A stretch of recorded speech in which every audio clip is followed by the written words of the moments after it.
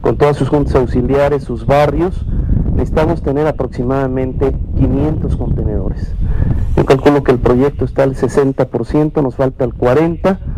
Y bueno, eh, también aclarar que en esta ocasión el Estado no contribuyó con ningún recurso para todo el programa de hábitat, pero la semana pasada llegamos a un acuerdo con el secretario Néstor Gordillo, quien de manera muy atenta nos explicó a fondo eh, cuál es el proyecto, cuál es la temática y estamos a punto de celebrar un acuerdo para lo que no nos pusieron este año, por circunstancias diversas,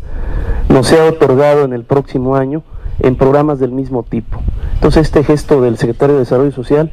pues me, me pareció muy, muy correcto, sobre todo aclarando que eh, porque se decía que el, gobierno del estado no le daba a Teciulán porque los proyectos no se habían presentado, porque no teníamos nosotros los proyectos ejecutivos y comentarios que no venían al caso. La realidad es que el gobierno del estado no pudo poner en esta ocasión 3 millones eh, y medio de pesos, pero en la negociación que hicimos el próximo año, la Secretaría de Desarrollo Social nos va a poner el doble. Y con esto